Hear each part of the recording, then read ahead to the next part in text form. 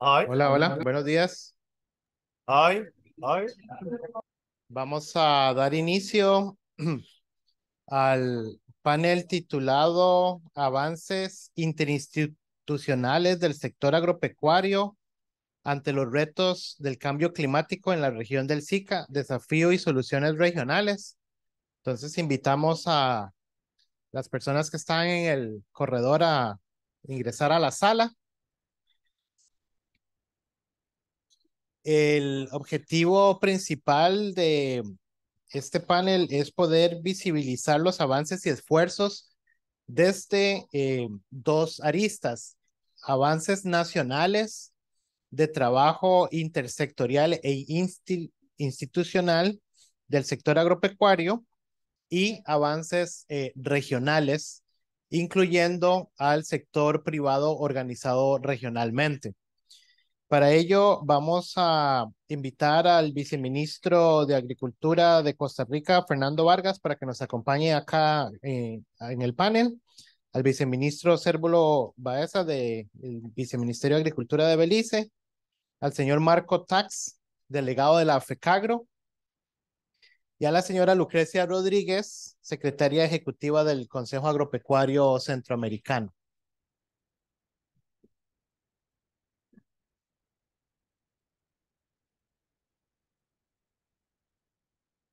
Muy bien, gracias. Entonces, eh, como les decía, el objetivo principal de este panel es poder compartir algunos avances interinstitucionales de trabajo, eh, buenas prácticas y cómo desde diferentes aristas, por ejemplo, el sector eh, privado, desde lo regional y también desde iniciativas nacionales, se ha venido promoviendo los esfuerzos para que el sector agropecuario pues trabaje en esta adaptación eh, y los avances, digamos, en la promoción climática en los países. Para ello, realmente lo que queremos es que nos cuenten, vamos a tener alrededor de 12, 15 minutos cada uno para que nos cuenten, eh, en el caso de los países, Costa Rica y Belice, algunas acciones, buenas prácticas de trabajo interinstitucional. También luego vamos a tener desde el sector privado y desde la perspectiva eh, regional. Entonces voy a comenzar dándole la palabra al señor Fernando Vargas, viceministro de Agricultura y Ganadería de Costa Rica, para que nos cuente su experiencia.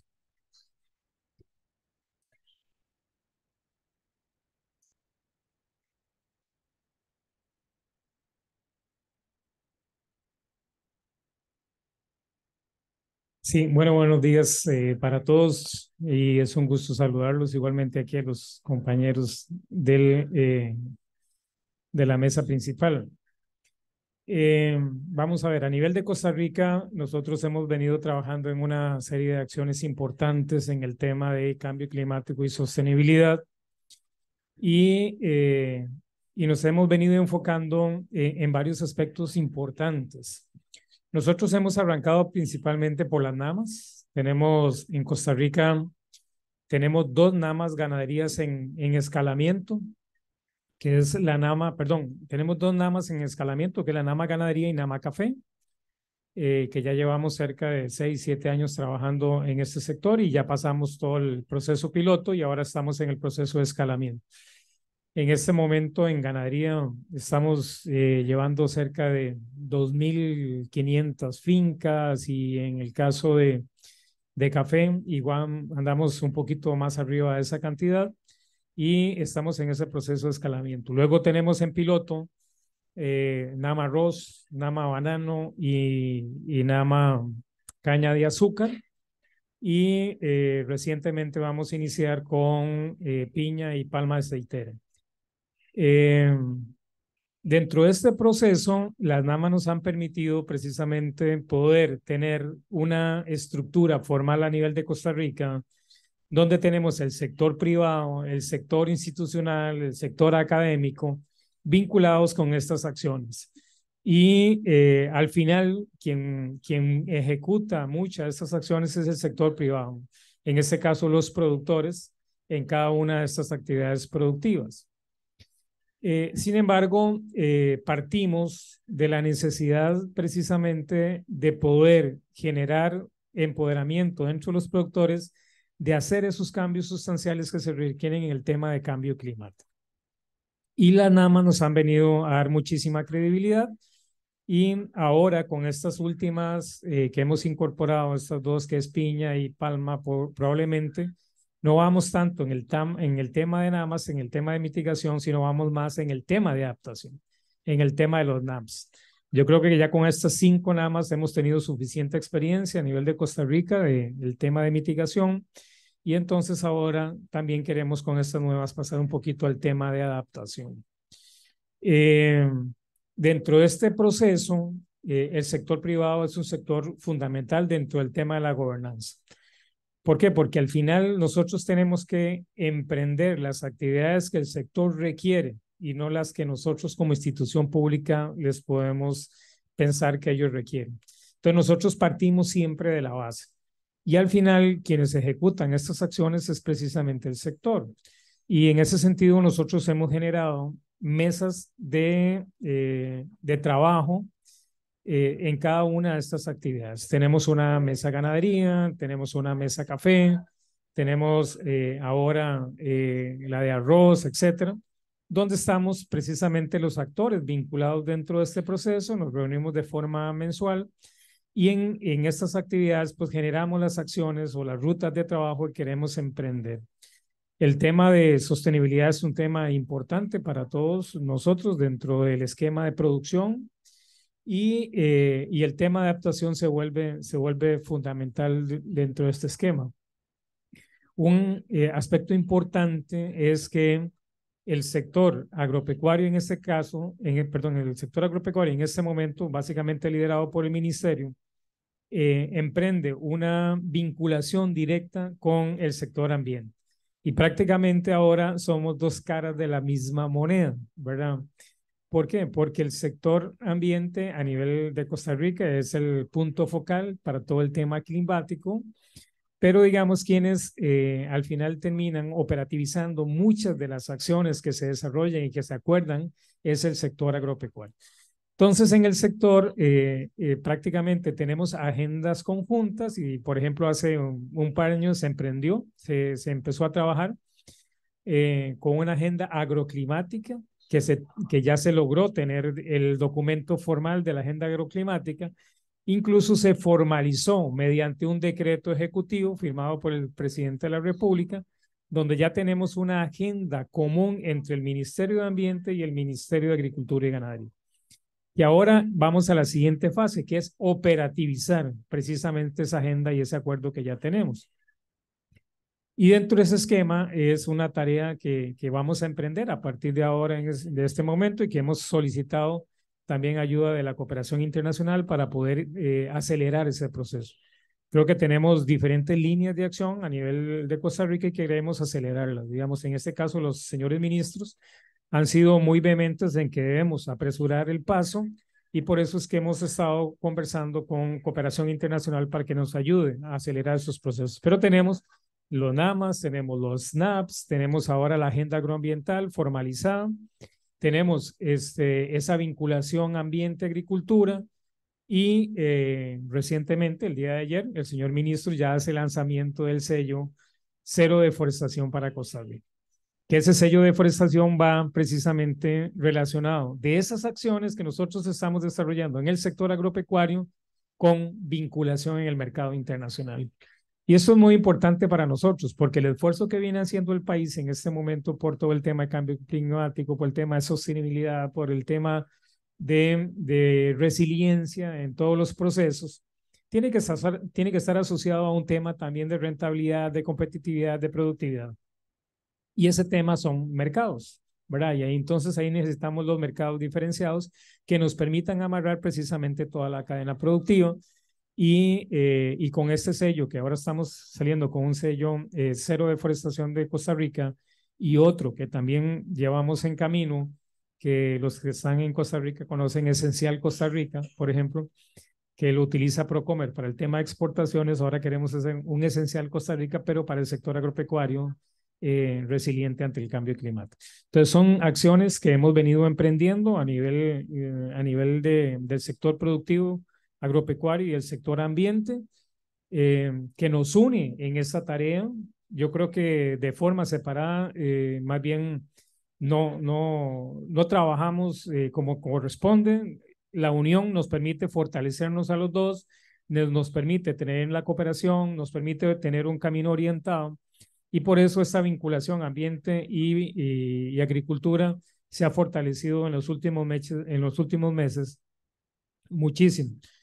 Y esas relaciones, precisamente entre ministros, también cala a los viceministros, que son los que nos toca operativizar esas acciones, ¿verdad? Entonces, nosotros estamos precisamente los viceministros de Ambiente con los de Agricultura eh, desarrollando esas agendas a nivel de cada una de estas acciones que estamos en los NAMAS, en la agenda agroambiental que tenemos ahora en los sellos, el sello cero de deforestación, el sello eh, esencial Costa Rica, digamos, pero en el tema de cambio climático y resiliencia para el sector agropecuario. Y eh, este proceso vinculado con los actores importantes que nosotros tenemos a nivel de país, que es el sector privado, la academia, los institutos de investigación, porque al final eh, tenemos que estar todos de una u otra forma involucrados dentro de este proceso. Eso nos ha permitido a, a, nivel del país empezar a, a tener muchísima credibilidad dentro del sector y los resultados se ven, se ven en, se ven en el tema ganadería, digamos, con el tema de escalamiento, eh, el sector, incluso ya el sector lechero, por ejemplo, está con, con un sello también de, leche, leche cero o leche baja en emisiones. El tema de carne, por ejemplo, a través de la corporación está ya con una norma Inteco también que va en la misma línea, que viene a fortalecer este proceso. En el caso de, de café, ya es un caso exitoso en Costa Rica, tanto para el mercado interno como para el mercado externo. Prácticamente nosotros, toda la producción de café, nosotros prácticamente la, la exportamos, ¿verdad? Y ahora ese valor agregado que tiene de cero deforestación y que también está con NAMA, le ha, podido, le ha permitido posicionarse muchísimo mejor en los mercados internacionales. Y, y ahora eh, con los otros que llevamos en proceso, que van ahí caminando muy bien, que es arroz, que es azúcar, por ejemplo, es eh, caña de azúcar, que tiene todo un empoderamiento fuerte a nivel de Costa Rica con, con DIECA, con LAICA, que desarrollan todo el tema de investigación.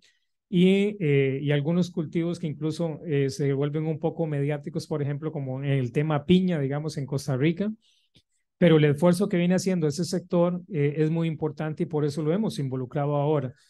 Eh, prácticamente en las empresas ahora, grandes piñeras, entre un 40, un 50, 55% de su base productiva está haciendo a través de producción eh, orgánica o sostenible. Incluso ya ellos están haciendo muchísimas acciones también en el tema de mitigación, en el tema de conservación. Entonces, por eso es importante poder involucrar este sector dentro de este proceso y, eh, y el esfuerzo que vienen haciendo hay que tratar de poderlo eh, compensar a través de diferentes acciones que nosotros hemos emprendido con ellos y por eso ya estamos en camino eh, hacia ese tema. La agenda es muy amplia a nivel de Costa Rica, con muchísimos temas, ¿verdad? en el cual estamos participando muchísimas eh, muchísimas instituciones, pero que al final eh, nos sentamos, nos juntamos, nos conversamos dentro de estas mesas temáticas y empezamos a direccionar básicamente lo que nosotros queremos. Creo que el tema de gobernanza en estas acciones es fundamental, ¿verdad? El tema de gobernanza es fundamental de todos los sectores involucrados y eso para nosotros es muy importante. E incluso ahora, digamos, con, con el tema de, de la cooperación, estamos también con los sistemas de alerta temprano. Nosotros ya vamos emprendiendo un tema de alerta temprana. Ya eh, tenemos a nivel de Costa Rica diferentes, bueno, tenemos el Instituto, este, eh, Instituto Nacional eh, que nos ayuda con todo el tema de, cambio climático, perdón, el tema de, de, información climática, y que es el Instituto Meteorológico Nacional. Eh, también nosotros ahora tenemos eh, Corbana con su también el, el, tema de cambio climático y también el tema de, climatología. Tenemos a Dieca Laica que también está con este tema. Tenemos a Conarroz y eh, nosotros a nivel del ministerio con el MISID y con una institución que nosotros tenemos en Costa Rica que es el Instituto de Desarrollo Rural, empezamos con el tema de agricultura 4.0 y entonces tenemos alrededor de 150 productores en esta primera etapa distribuidos por todo el país haciendo eh, agricultura 4.0. con todo el tema de sensores, sensores climáticos, sensores de humedad, etcétera, recogiendo una data muy importante a nivel de todo el país. Y ahora lo que nos queda es precisamente poder tener enlazada toda esa información que generan estos institutos y que generan los productores en un centro de información digital. ¿Por qué? Porque necesitamos recoger esa información eh, climatológica del país y ese centro de información digital nos va a permitir no solo procesar la información, que es lo que nos interesa a nosotros para poder devolverle al productor todo el tema de, esa información ya procesada, de cuáles son las condiciones climáticas, en qué momento tiene que regar, en qué momento va a tener déficit de agua, en qué momento requiere más luminosidad o no los cultivos que están desarrollando. Y ahora, a través de una alianza estratégica entre el sector agropecuario y el Instituto Nacional de Aprendizaje que tenemos en Costa Rica, vamos a darle mucho más fortaleza a ese tema de alerta temprana y empezar con el tema de inteligencia artificial y los modelos de producción. ¿verdad? Entonces, el que está, por ejemplo, produciendo papa, entonces hacemos todo un modelaje, por ejemplo, el que tiene papa, eh, y, con la información climática que estamos obteniendo de los sensores y de los institutos, podemos decirle si va a tener una enfermedad eh, o no, si las condiciones están prestando para, para que tenga plagas o no, o eh, este instituto, a, través del, del INA y a través de la inteligencia artificial, podemos incluso estar brindándoles información a ellos en tiempo real sobre condiciones, sobre precauciones que pueden tener. Incluso la podemos asociar con, con la información que también está generando la Comisión Nacional de Emergencias, ¿verdad? Para efectos de poder tener el tema de desastres. Y ahora nosotros estamos trabajando en el tema de la agricultura, ligada también al tema de climatología con la Comisión Nacional de Emergencias. Y entonces la devolución que nosotros estamos haciendo a los productores post desastre es una aplicación que le permita ser mucho más resiliente ante posibles fenómenos climáticos posteriores, ¿verdad? Ya no es simplemente eh, llegar con entregarles insumos, semillas, etcétera. No, ahora lo que queremos es generarles a ellos mucha más resiliencia para que puedan estar mejor prevenidos para eh, los fenómenos climáticos recurrentes que estamos teniendo. En Costa Rica desde el 2017 tenemos fenómenos climáticos todos los años. Tenemos fenómeno niña, tenemos fenómenos eh, niño, tenemos huracanes, tenemos etcétera, ¿verdad? Entonces, desde el 2017 para acá no hemos parado. Pero entonces estamos empoderando a los productores con mejores herramientas para que ellos puedan seguir produciendo. Entonces, dentro de todo este tema de cambio climático hay muchos aspectos, hay muchas variables, hay muchas aristas que al final terminamos conjuntándolas, ¿verdad? Dentro de estas mesas de cooperación entre la institucionalidad, eh, el sector privado, el sector institucional y los productores, que para nosotros es muy importante. Seguir manteniendo la parte de productividad, la parte de seguridad alimentaria, la agricultura familiar, resulta vital e importante para, para Costa Rica y para los productores y en esa línea queremos seguir sosteniendo. Muchísimas gracias.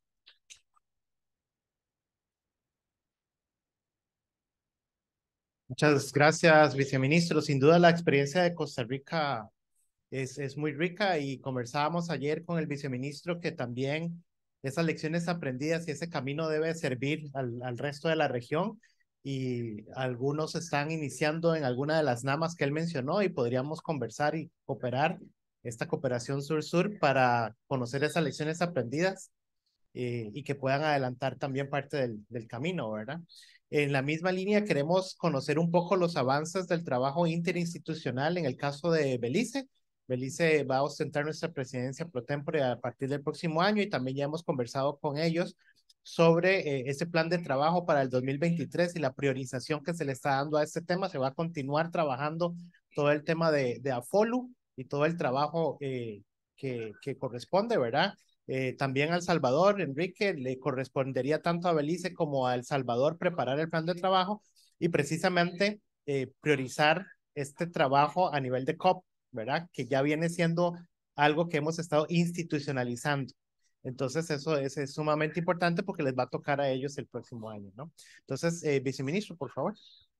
Gracias, ah, muy buenos días a todos y gracias por, por la oportunidad para poder decir un poco del, del, trabajo que se está llevando a cabo en Belice. primero quisiera empezar por ah, mencionar de que el sector agropecuario de, en, Belice contribuye más de 10% de eh, del PIB del país. Um, genera 80% de nuestras exportaciones es en el sector agropecuario. Um, provee empleos a más de 18% de nuestra población. El 38% de nuestro territorio es apto para, para la producción, pero solo estamos usando como 15% en este momento. El 90% de nuestra producción es a base de, de lluvia, así que todo depende de, del clima. Uh, esto hace que nuestro sector sea muy vulnerable y tenemos que eh, tomar muchas medidas para hacerlo más resiliente. Uh, eh, nuestro ministerio ha estado trabajando muchísimo con, con los, los, productores y con todas nuestras instituciones y ciertamente con la región uh, para mejorar, eh, para mejorar y, y, prepararnos mejor. En términos de, de, de capacitación, hemos estado entrenando nuestros técnicos de, de, de, extensión y nuestros agricultores en la área de uso de biofertilizantes, biopesticidas, irrigación, manejo de, de peces integrado, eh, entre, entre otros. En el área de, biopesticidas, eh, por medio de la OIRSA, manejamos el laboratorio para producción de la avispa contra de la cochinilla rosada, la avispa contra el gusano eh, marinador, uh, el hongo para la mosca blanca, Así que mucho trabajo se está haciendo en esa área.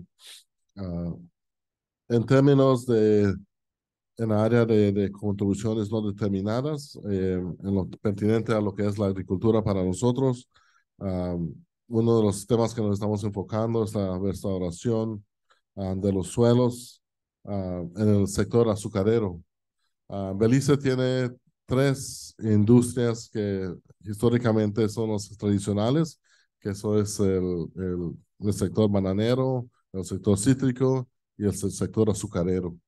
Um, en el sector azucarero es donde tenemos unos 60 mil eh, 60 mil acres en producción de caña con un rendimiento muy bajo. Eh, estamos consiguiendo como 17 a 19 toneladas por acre, um, cuando realmente las normas deben ser más como 25 a 30 toneladas por acre. Y si se pone irrigación y Um, se puede llegar hasta 50 toneladas por acre. Así que estamos usando muchos suelos para producir la, la, la cantidad de, de, de, de, caña de azúcar que, se, que, que está moliendo la fábrica. Así que nos estamos enfocando en eso, uh, en términos de ver que los agricultores se diversifiquen un poco uh, y usar un poco de su terreno para hacer otras cosas. Uh, en este momento estamos teniendo un proyecto, por ejemplo, con nuestro hermano vecino país eh, México, a donde la INEFAB está llevando a cabo investigación en, el, en la área azucarero para la producción de soya. Ah, esa, esa, investigación se está llevando a cabo en estos momentos. Eh, el otro, la otra área es eh, promover la agricultura adaptada al cambio climático. Um, y esto pues, hemos estado um, llevando a cabo varios uh, proyectos. Um, uno que se está llevando a cabo en este momento es eh, eh, producción de, de, hortalizas y comunidades bajo de estructuras um, cubiertas. Um, eso se está llevando un proyecto en, a, a, través de todo el país. Uh, se están, bajo el proyecto, eh, se están creando, uh, en, en, en, trabajando con cooperativas, son 30 de estas estructuras um, cubiertas como modelos y para áreas de, de capacitación para que ya otros eh, en, las, en las diferentes áreas um, vean eh, la tecnología y, y puedan empre, eh, emprender haciendo lo mismo. Um, hay otros proyectos también, um, como la de UNDP, uh, donde también están trabajando junto, conjuntamente con nosotros y con pequeñas cooperativas, a donde también ellos están construyendo eh, eh, estructuras cubiertas para la producción. Eh, to todos estos proyectos también uh, muy importantes eh, que incluye la participación uh, de, de, la mujer y de los jóvenes. Hay ese componente que es muy importante. Uh, creo que uno de los exponentes ayer en estos últimos días, creo que si no me equivoco, fue el, el ministro de, de Dominica República que mencionó que muchos de nuestros agricultores, cuando se ve el, el, análisis, ve que ya están quedando, de, ya son personas de alta edad, de 65 años para arriba. Así que es muy importante para, para nosotros incluir a los jóvenes y, pues, claro, a, las mujeres. Uh, una de las áreas uh, también uh, muy importante para nosotros es la diversificación. Como había mencionado, eh, normal, eh, tradicionalmente han sido solo tres sectores que han dominado a la, el sector agrícola en, en, mi país. Pero ahora con la diversificación, eh, estamos promoviendo la diversificación, ya estamos produciendo más de nuestras hortalizas y vegetales que se consumen en el país, utilizando variedades más tropicalizadas uh, producción bajo de estructuras cubiertas con irrigación um, y viendo otros productos. Uh, aparte de, aparte de los um, de las hortalizas y vegetales, también estamos viendo frutas. Uh, recientemente eh, la, la, fábrica de cítrico tenía dos, dos fábricas y convirtió una hora solo para el procesamiento de jugos, de jugos y puré. Así que ahora tenemos una fábrica que puede uh, ya procesar uh, piña, guanábana, uh, pitahaya, eh, maracuyá, el coco.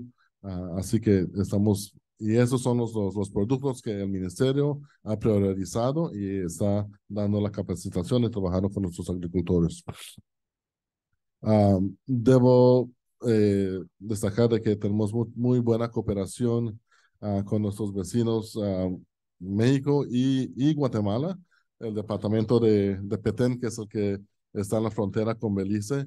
Um, hemos tenido intercambios de entrenamiento de capacitación, um, intercambio de, de germoplasma um, y también estamos viendo de mejoramiento de, de genética en, en, el lado ganadero.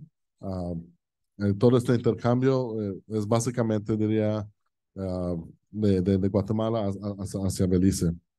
En estos momentos nuestro sector eh, de, de, de, ganadería está, está, está, creciendo y es una área que nos estamos enfocando eh, bastante. Otra área que, que, que estamos eh, también eh, enfocándonos es el, la área de agroprocesamiento, porque en hemos dado cuenta de que mucho tiempo nuestros productores son muy buenos para producir, pero en veces todos salen al mercado al mismo tiempo, hay mucha pérdida y, y tenemos muy, uh, muy poco eh, procesamiento o valor agregado que le hacemos a los productos. Así que, una vez más, eh, eh, te, hemos tenido muy, muy buena cooperación y tenemos entrenamiento para poder procesar un poco de nuestros pro productos uh, en el sector um, lácteo con la producción de, de queso Uh, durante la pandemia del COVID, actualmente los lecheros tenían que estar botando, pues se botaba la leche porque no podían hacer nada con él. Um, ahora, uh, la, es, con un poco de apoyo de parte del gobierno, um, ahora se está procesando más, más queso, se está haciendo más yogurt, se está haciendo más helados, son muchas co más cosas que están haciendo. También con el apoyo del gobierno se, está, se apoyó la que se, que se haga una, una planta procesadora de, de, soya, así que ahora se está refinando el aceite de soya. Uh, se va a empezar a refinar el aceite de soya en Belice y eso sería, va a ser una gran contribución a nuestro país, ya que todo el aceite combustible del país uh, es importado. Ahora ya vamos a tener algo que lo puede reemplazar. Um, como mencioné, el coco, el, el sector cocotero ha sido muy importante. Es muy importante para nosotros, es un sector que está en crecimiento hay muchos agricultores que están eh, ahora diversificando y sembrando coco. Uh, el mercado para la agua de coco, aceite y muchos otros productos están en gran demanda, así que um, estamos enfocándonos bastante en el coco. Um, este, estamos consiguiendo bastante apoyo de, otra vez del INIFAP de México en términos de entrenamiento y también de, de CARICOM con un proyecto que está en la región a donde se, se está trabajando en los uh, híbridos ah, para el coco tolerante al amare- amareamiento ah, letal. Un proyecto muy importante para nosotros también ha sido el de almacenamiento. Ah, una vez más, eh, como mencioné, nuestros productores en mucho tiempo tienen ah, grande producción, eh, producción de cebolla o de papa, y no tienen eh, el, el, almacenamiento. Tuvimos la oportunidad de poder llevar a cabo un proyecto juntamente con el con, con, con JICA que, de, Japón, que nos ayudó eh, dando los recursos para que se pudieran poner eh, almac- almacenamiento en diferentes áreas estratégicas, fríos, así para que ya nuestros campesinos tengan, o agricultores tengan donde para almac- almacenar su producto hasta que sea el tiempo que lo puedan sacar ellos al mercado. En este momento también estamos empezando un proyecto con el Banco Mundial. Ah, este proyecto es para cinco años ah, y la meta de este proyecto es fortalecer al pequeño y mediano agricultor en prácticas eh, de producción ah, sostenible y adaptadas al cambio climático, eh, manejo del agua y los suelos y también apoya eh, y, fortalece las otras agencias que son importantes para la producción agrícola, como el Servicio Meteorológico de- del país y am, nuestra autoridad de sanidad agropecuaria. Todo esto va, todo esto, si se, si se pone en, en- contexto, debe de eh, incrementar el- nuestra producción de nuestros, eh, de nuestros agricultores. Ah, en términos de, de la tecnología, tenemos eh, una plataforma que se maneja por el, por el, el ministerio, donde se registra, es, es una plataforma donde se registran todos los agricultores y lo que producen ah, con su GPS. am, así que tenemos, nuestros, nuestros extensionistas colectan todos estos datos.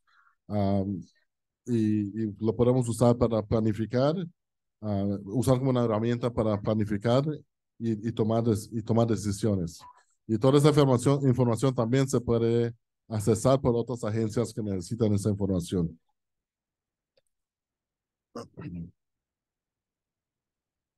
En nuestro departamento de mercadeo también ah, eh, tenemos una, otra herramienta, una plataforma ah, que es, le llamamos AgriLinks. Am, esta, esta herramienta es básicamente para crear un mercado virtual. En esta plataforma nuestros productores pueden accesarlo y, y pueden poner qué son los productos que tienen ellos disponibles am, para la venta. Y así los, los compradores eh, pueden accesar esta plataforma y ver a dónde pueden ellos accesar estos, estos productos. Y para, ah, en conclusión, mm, nuestros, am, tenemos eh, un boletín que se, que se crea por, am, por el ministerio, está encabezado por el ministerio, pero incluye al servicio meteorológico del país, al OIRSA y a nuestra autoridad sanitaria, sanitaria agropecuaria, a donde se produce un boletín informativo ah, cada tres meses y esto está ah, publicado en todas nuestras plataformas, así que todos los productores tienen acceso a ello. Am, ah, ciertamente creo que eh, puedo decir que viendo todas estas, ah, estas acciones hay mucho más que hacer todavía. Am, solo estando participando acá y, en otras reuniones, ah, las ideas y, las experiencias que tienen los otros países, ciertamente son cosas que nosotros creo que podemos aprender mucho. Pero tal vez solo de último mencionar de que ah, hemos tenido mucho, ah, mucha colaboración, como mencioné, con los países vecinos, México, ah, Guatemala, ah, y puedo mencionar también que hubo un intercambio eh, hace, eh, en octubre, el mes pasado, donde también se mandó 30 de nuestros agricultores a Colombia por 30 días para aprender diferentes métodos de, de, em, de cómo aprendieron cómo hacer biofertilizantes, como para en vez del de el manejo de, de, de, peces integrados y, y, traer esa experiencia ahora a Belice. Y son de, de, todo el país, así que ellos ahora pueden ser líderes en sus diferentes comunidades y pueden, pueden dar esa capacitación a otras personas. Um, así que para nosotros, uh, claramente el otro año creo que va a ser un año cuando tenemos que planificar más, organizar y seguir el trabajo que se ha estado haciendo um, por través de la Secretaría. Gracias. Muchas gracias, viceministro. Sin duda, Belice también con experiencias muy importantes y concretas. Belice es un país mayoritariamente rural y es un país joven. Y creo que han hecho muy bien la incorporación de los jóvenes en la agricultura y que también podemos aprender de su, de su experiencia. Creo que ambos han mencionado algo muy importante que no podemos dejar de lado y es precisamente en el, involucramiento del sector privado, ¿no? En, en, en llevar al, al terreno estas acciones desde la Federación de Cámaras del Agro nos han eh, prestado un ratito, le robamos de sus actividades a Marcos Tax para que él nos cuente un poco también la experiencia que se tiene desde el sector privado organizado regionalmente, por favor. Gracias, eh, buenos días. y muchas gracias por la invitación. Mi nombre es Marco y pertenezco al Instituto Privado de Investigación sobre Cambio Climático y pues Cámara del Agro Guatemala se ampara mucho en nosotros para poder atender los temas de cambio climático. Y quiero tomarme unos segundos en contarles qué es el Instituto Privado de Investigación sobre Cambio Climático. Eh, realmente el instituto es una primera respuesta de esa visión de largo plazo que el sector privado guatemalteco, el, eh, específicamente el sector azucarero, eh, tuvo para poder pensar en ese largo plazo, en qué hacer con la materia del cambio climático, que ya es un hecho, desde entonces se veía como tal, eh, incluso antes del, del, Acuerdo de París y esto, eh, el sector privado guatemalteco pensó en crear un instituto y a raíz de ello creó el ICC. Eh, de esa cuenta, pues desde entonces dejó abierta la opción a trabajar con más gremios, con más países incluso, y muy recientemente tenemos operaciones en El Salvador con, con dos ingenios azucareros en El Salvador. En Guatemala trabajamos además con el sector azúcar con el sector banano, eh, también con aguacate y eh, tenemos la oportunidad de poder trabajar también multilateralmente con entes de, de cooperación. Actualmente el 60% de nuestro presupuesto eh, sigue siendo del sector privado y hay un 40% que se complementa con fondos de cooperación y eso nos ha dado mucha más amplia gama de proyectos y alcances para poder pensar en, en, en, el territorio. ¿verdad? Entonces, de esa respuesta en el territorio, eh, el instituto eh, ha trabajado en la generación de información meteorológica. ¿verdad? El ministro mencionaba mucho la inteligencia artificial y, y, cómo procesar esos datos. En el caso de Guatemala, eh, hay 34 estaciones meteorológicas automatizadas de acceso libre para, para todo público. estas estaciones las consulta especialmente gente que hace agricultura, gente que hace análisis de riesgo en otros lados del mundo, eh, el gobierno, cuando eh, en, en, nuestro país se emiten los boletines meteorológicos, eh, nuestra autoridad en materia meteorológica cita las estaciones que el ICC tiene, incluso tienen una API para, conectada para bajar en tiempo real nuestra información y esta información es soportada por el sector privado totalmente. Este, este financiamiento este sistema de información es, eh, es soportado por el sector privado, eh, siempre pensando en cambio climático y en el tema de adaptación. También hay generación de información hidrometeorológica en toda la vertiente del Océano Pacífico, donde todos los ríos tienen un monitoreo, especialmente en la época seca. Eh, el reto grande que hay es que todos los ríos preserven agua durante la época seca y esta información eh, tiene un costo también, ¿verdad? Hacer ese monitoreo de todas las cuencas, eh, con incluso en la actualidad ya está una app móvil que los técnicos usan con un celular para mandar la información, da chance a que los usuarios del agua puedan ponerse de acuerdo, reciben la información, están hoy participando cada uno en su cuenca determinada y ellos reciben esa información y a raíz de ello toman decisiones para poder ajustar, para poder analizar y para poder eh, tener ese cuidado de preservar el, el, vital líquido. ¿verdad? Entonces, este sistema también es, es financiado totalmente por, por el sector privado, eh, incluye muchos gremios, va más allá incluso de los miembros del instituto, y entonces nos ha permitido tener ese alcance de, de incluir a, a, más gremios, incluyendo Palma, incluyendo eh, Banano, incluyendo algunas empresas de ganadería eh, que hoy soportan esta información.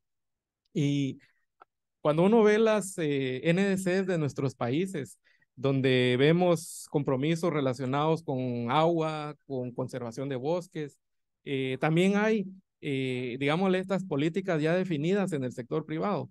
Tal vez a diferencia de las políticas públicas que emiten nuestros gobiernos, las que son internas y voluntarias del sector privado, tienen un seguimiento bastante práctico con objetivos eh, medibles en los meses y en un año hay una rendición interna de cuentas donde hay esa revisión.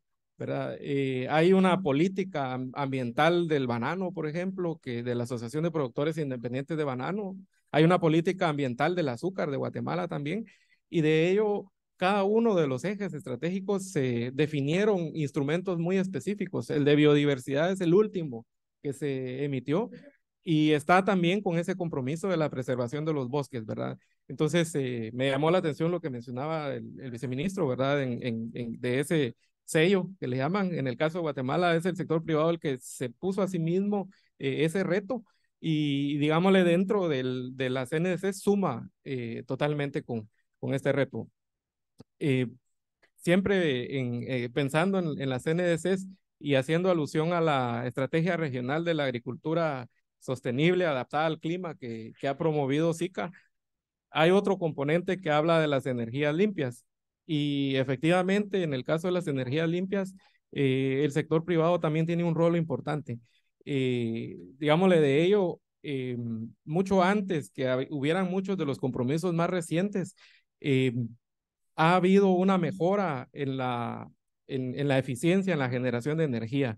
¿Verdad? Tal vez para quien no está muy familiarizado, eh, en el proceso de producción de azúcar, eh, una tercera parte de la energía generada eh, durante todo ese proceso se usa internamente para el, el, tema industrial y las otras dos terceras partes son usualmente vendidas a la red nacional. Entonces, nuestros países que tienen productores de azúcar tienen esa dicha de contar con energía limpia. La energía que se produce a partir de la biomasa de la caña de azúcar es 10 veces más limpia que la que usualmente encontramos en la red de energía. Nuestros países tienen una matriz energética bastante sana eh, y sin embargo la energía a partir del, de la caña de azúcar es 10 veces más limpia. Eh, para el caso de Guatemala, eh, uno de cada seis kilowatts hora que consumen los guatemaltecos durante todo el año proviene de la biomasa de la caña de azúcar. en el caso de El Salvador es uno de cada 14 kilowatts hora, también proveniente de la caña de azúcar. En el caso de Honduras es uno de cada 20 kilowatts y en el caso de Nicaragua es uno de cada ocho. Entonces, esta energía limpia que está hoy siendo generada a partir de la producción de, de biomasa de la caña de azúcar, eh, sigue siendo parte de ese capital económico y natural que tenemos como países centroamericanos, eh, porque hay sostenibilidad ahí, ¿verdad? Las metodologías internacionales nos eh, mandan la forma correcta de analizar los gases de efecto invernadero que provienen de, de, de la quema de los, de los combustibles eh, renovables, ¿verdad? Y eso le da muchas ventajas a, a la energía que se produce a partir de la, de, de la caña de azúcar. Y entonces en esa línea eh, también se nos ha encomendado estudiar cómo están las huellas de estos productores, ¿verdad? Eh, encontramos, por ejemplo, que la caña de azúcar de Guatemala como gremio representa menos del 2% de las emisiones de todo el país y durante muchos años fue el producto agrícola que más divisas eh, trajo para, para los guatemaltecos. Eh, esa huella de carbono es de las más bajas a nivel del mundo, eh, de la misma manera con el azúcar con El Salvador. En, en, los, en, la, en los días recientes iniciamos ya un esfuerzo para, con, con el gremio azucarero salvadoreño para poder estudiar a nivel de país eh, la huella de azúcar de, de, de todos los, los ingenios de, de, El Salvador, como también las huellas hídricas. ¿Verdad? Eh, en ese tema del uso eficiente del agua, eh, pues me detengo pocos segundos, ¿verdad? Contarles eh, de que el 75 al 78% de la huella hídrica de la caña de azúcar es provista por las lluvias. hay alrededor de un 18, un 20% que está relacionada con el agua de riego. y digámosle, son de los mensajes que hoy estamos transmitiéndole, ¿verdad? Al productor para seguir mejorando sus sistemas de riego, pero también a, a la comunidad internacional, porque eh, hay datos muy interesantes, ¿verdad? Que tienen que ver con ese beneficio que hoy brindan eh, los sectores productivos del país. Eh, tal vez con, con digámosle, con, con ello, contarles de que no estamos cerrados solo a, a pensar en, en, en, ese beneficio interno, sino les hablaba que a nivel del territorio también hemos apoyado con la generación de eh, inventarios de gases de efecto invernadero a, nivel municipal. Eh, hay seis municipios en el sur de Guatemala donde logramos hacer esos inventarios de gases de efecto invernadero con colaboración de algunas entidades internacionales, USAID, por ejemplo, con WWF, y estos municipios cuentan ya con un plan de acción climática, ¿verdad? Entonces, motivamos también a, las, a los gobiernos locales a que pueda haber esas, eh, esas actividades eh, en relación al clima. Y eh, pues quisiera tal vez cerrar de, eh, contándoles de que hoy somos fuente de información también para los esfuerzos de país. Eh, los inventarios nacionales que, que, se han estado actualizando, eh, hemos provisto esa información que, que ha sido clave para, para complementar estos esfuerzos de país y el, el gobierno nos ha permitido pues eh, tomar el, los insumos que, que, que hemos generado en los estudios para poder enriquecer muchas de las ideas que se, que se están tomando a nivel de país.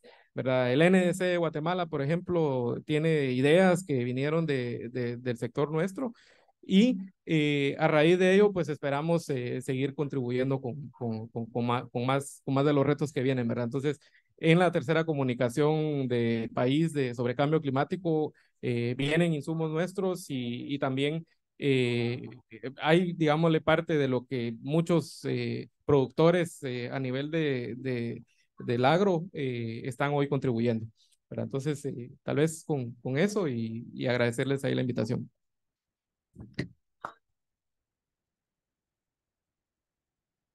Muchas gracias, este, Marcos. Bueno, en realidad la, la, participación del sector privado es sumamente importante en la búsqueda de esa solución integral que busca la mejora de los ingresos y de la productividad, pero siempre trabajando a aumentar la resiliencia y las capacidades ¿no? del sector.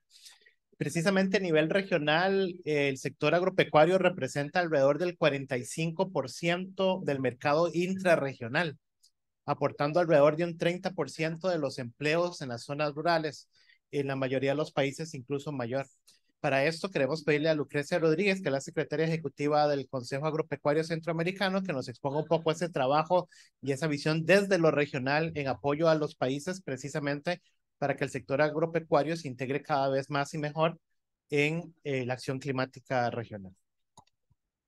Bueno, muchísimas gracias. Y adicionalmente a ese 45% que representa el, el mercado regional, también hay un dato que es muy importante y es eh, el tema de juventudes, que muy bien ustedes lo mencionaban para el año eh, 2050, entre 15 y 29 años va a ser el promedio de edad de la población de la región.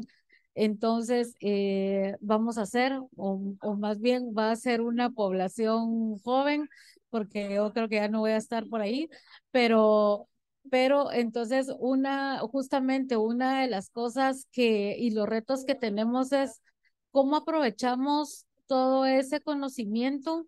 Un Costa Rica, ¿cuánto tiempo le llevó eh, construir X Nama, por ejemplo, que pudiera sistematizarse y aprovechar a que otro país que no la tiene eh, se sume y digamos si se gane ese, esos años de trabajo, incluso con el valor agregado de lo que no hay que hacer que ese es, digamos, un poquito también a donde, a donde tenemos que traerlo y eh, aprovechar, digamos, toda la parte de lo que mm, eh, muy bien sector privado ha realizado para empezar a complementar.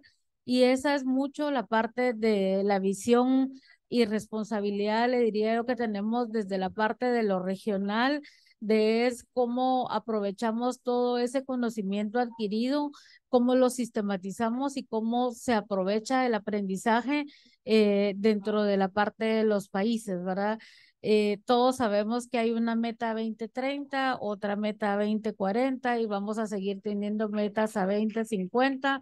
Así que es cómo llegamos más rápido a toda la parte de ese proceso. Y tenemos la complejidad, les diría yo, que dentro de la parte de, mm, del sector hay mucho micro y pequeño productor, que es lo que a veces también nos va dificultando un poco eh, la identificación de instrumentos para hacer esa transferencia de tecnología. Eh, pero pensando también en que las nuevas generaciones están tecnificados, es una oportunidad para aprovechar ese salto tecnológico, para eh, aprovechar, digamos, como esas aplicaciones, el Internet, la Agricultura 5.0, donde está todo la parte del uso tecnológico, pero hay que regresar al ABC de la producción, de las buenas prácticas de la producción, porque sigue siendo un, pues es un, es vivo el suelo, ¿verdad? Entonces es cómo esa buena práctica se va a aprovechar.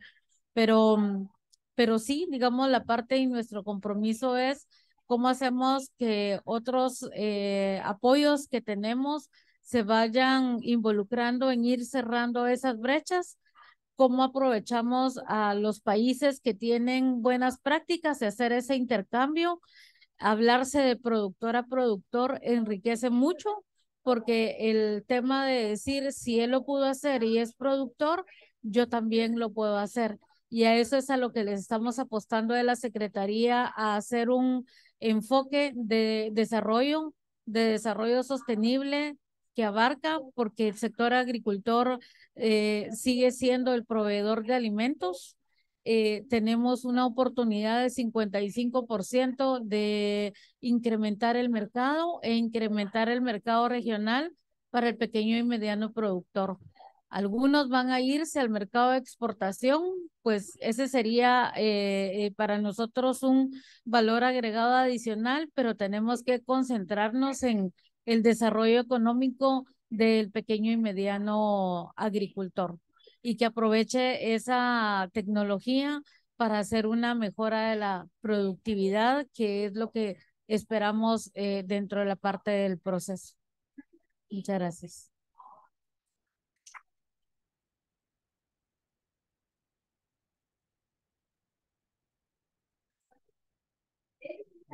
Que gracias a, todos, creo que hay experiencias muy interesantes, muy ricas, vemos muchos avances, también eso nos tiene muy, muy motivados y creo que todavía tenemos eh, tiempo para intervenciones, por si alguien quiere hacer alguna pregunta, Werner, Silvia, Andrea.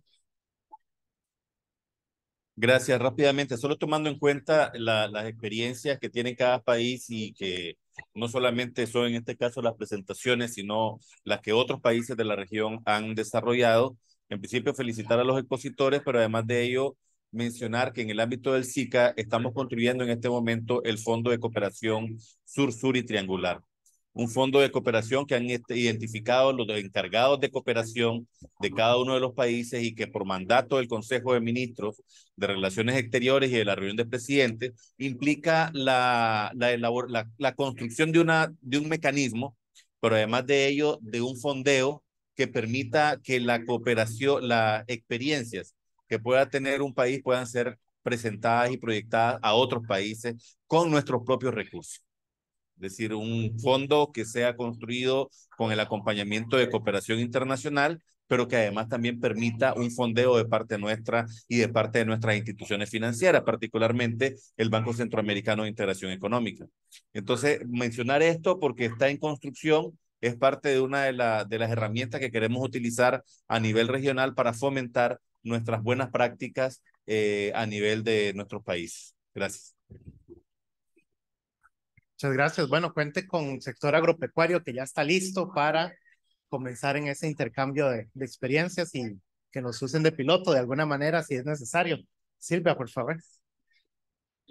Buenos días, mi nombre es Silvia Salazar, yo trabajo en la plataforma de restauración de, de tierras de CRS y creo que primero felicitar a los, a los panelistas y a la Secretaría por organizar este panel porque efectivamente la intersectorialidad sigue siendo, sigue siendo un reto para nosotros. Hay bastantes respuestas que, que hemos encontrado nosotros desde la Secretaría Ejemplo de ello es quienes están ahora en el panel, hay ministerio, hay sector privado, eh, hay trabajo con organizaciones de, de asistencia técnica. En el caso de nosotros que promovemos la restauración de tierras, encontramos un nicho de trabajo en las iniciativas que ya se están implementando a nivel de la región. Ejemplo de ello, AFOLU, Dentro de nuestras metas al 2030 está restaurar 500 mil hectáreas de tierras a nivel del corredor seco en los países donde estamos, que, en el área del SICA sería Guatemala, El Salvador,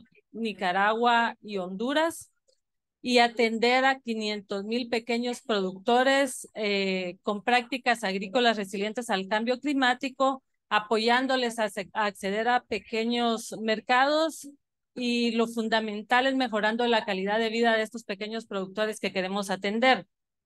Para ello, nosotros dentro de nuestra estrategia es fundamental el trabajo con los actores que lideran estos procesos a nivel del SICA, que son los ministerios, y también encontrar el empate que hay en las intervenciones territoriales con otros órganos de cooperación.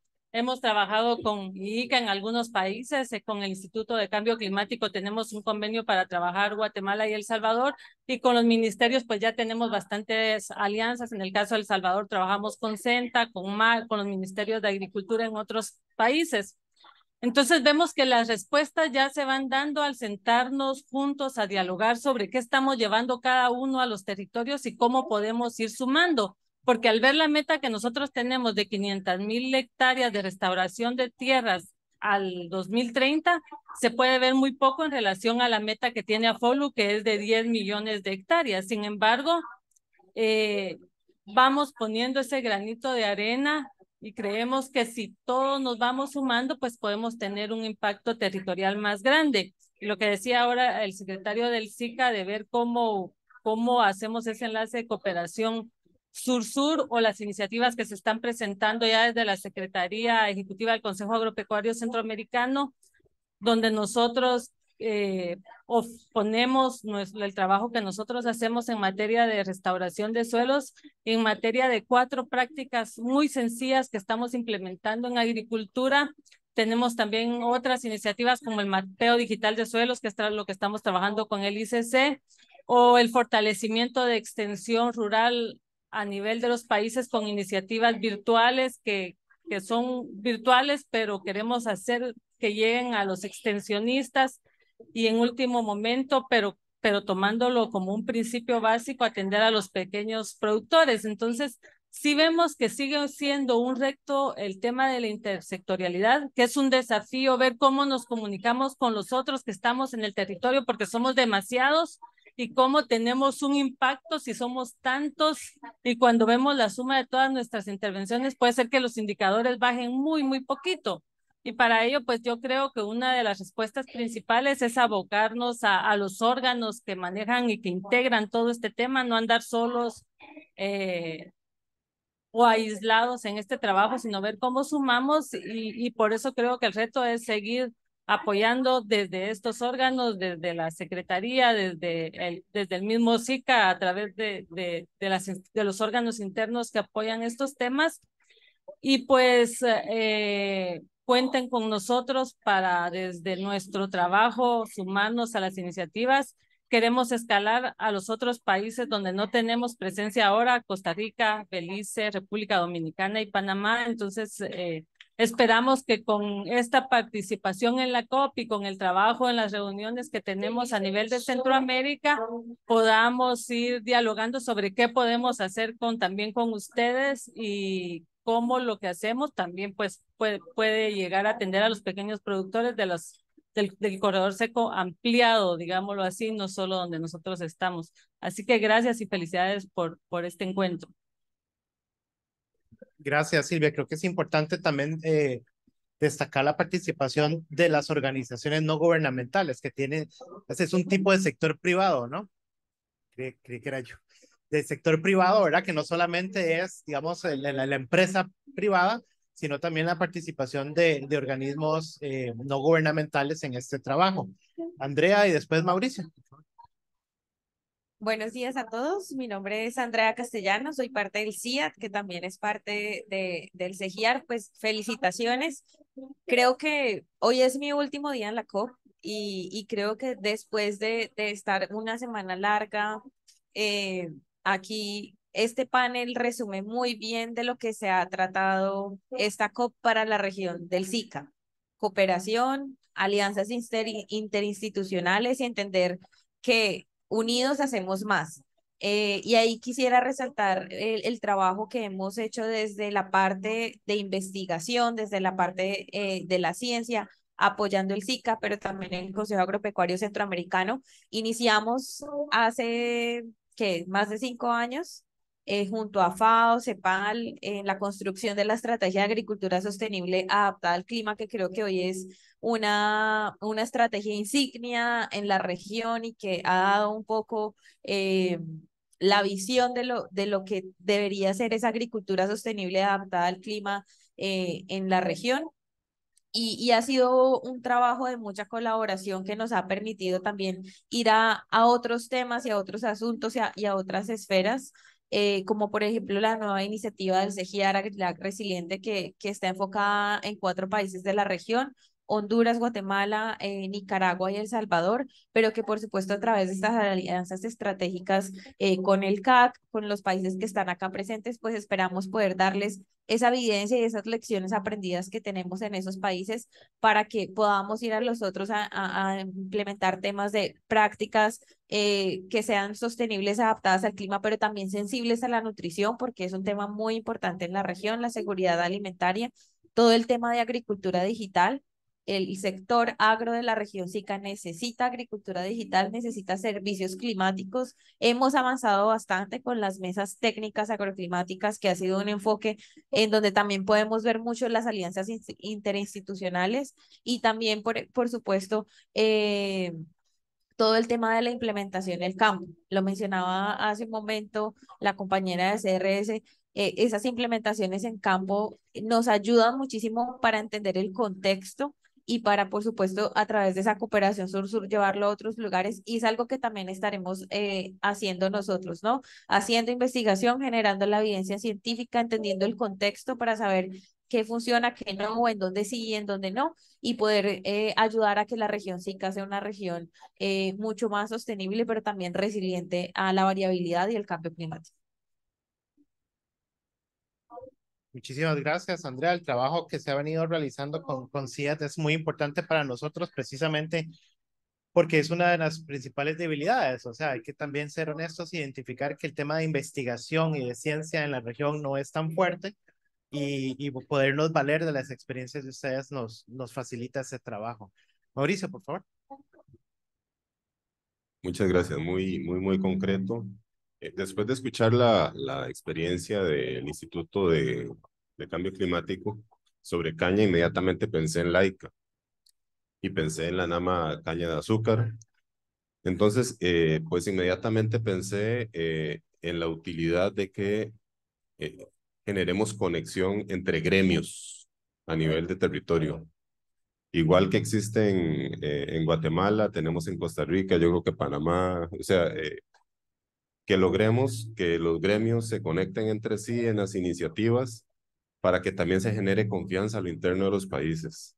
Eh, a veces como ministerios promovemos con buena intención un enfoque, eh, un programa, un proyecto, pero tenemos que trabajar mucho en campo para generar esa confianza entre un sector privado. Entonces yo creo que si favorecemos el diálogo entre sectores, los cañeros por un lado, los ganaderos por otro, etcétera, etcétera, etcétera, yo creo que podríamos ganarnos bastante tiempo y bastante esfuerzo del sector público tratando de involucrar al sector privado en esto, que entre privados vean que esto funciona y una vez que los privados lo vean en su país, los gobiernos vamos a tener muchísimo más facilidad, creo yo, para, para ir un poco más rápido. Y termino diciendo con esto eh, que tenemos eh, muchísimo en común, pero somos como un cuerpo, ¿verdad? Eh, los países somos muy diferentes, unos somos como una mano y la otra derecha se parece, pero otros somos como la cabeza. Entonces, em, creo que es importante que veamos el territorio como, como un organismo eh, y que generemos proyectos y comunicación que articulen el organismo completo, que no nos olvidemos de ninguna parte y que esa, esa conexión venga desde, desde el liderazgo muy bueno que ustedes han estado que, que ustedes han estado ejerciendo y que podamos llegar a ese sector privado. O sea, que, que ese liderazgo llegue al sector privado y que conectemos el sector privado de nuestra, de nuestra región para, para generar muchísimo más dinámica en eso. Felicitarlos de nuevo y muchas gracias por, por las experiencias y los aportes. Muchísimas gracias, Mauricio. Eh, sí, eh, identificado creo que lo, que lo tenemos. Hemos este, iniciado quizá en los últimos par de años un poco más de cerca, involucrando al sector privado. Todavía hay, hay trabajo que hacer, pero sin duda es uno de los temas que hemos, hemos priorizado. ¿Alguno quiere dar alguna conclusión? Ya estamos sobre el tiempo, si no, pues podríamos dejarlo acá, agradecerles muchísimo. Eh, oficialmente este es nuestro último panel acá en la Casa de la Agricultura de, de las Américas, ¿verdad? También el Consejo de Ministros de Agricultura empieza a salir desde hoy hasta mañana ya de regreso. Eh, comentábamos con Mauricio casualmente ayer, ¿verdad? Me decía, bueno, qué, qué bonito, qué interesante, ¿cómo ha estado esto, verdad? Tenemos que reforzar los equipos desde agricultura. Pero yo le decía, es que pasamos de nada hace un año a tener negociadores de agricultura en los, en los eh, países, desde los ministerios de agricultura, y a tener al Consejo de Ministros acá creo que todavía falta, pero hemos recorrido bastante y estamos muy orgullosos por eso. Agradecerles a ustedes el apoyo, que sin ustedes no, no fuese eh, posible, ¿verdad? La FAO, CIA, CRS, ICA, que nos han acompañado técnica y financieramente en esto. Y, y, nada, o sea, nos vemos en la próxima COP, ¿verdad? Muchísimas gracias a todos. Eh, buenas tardes.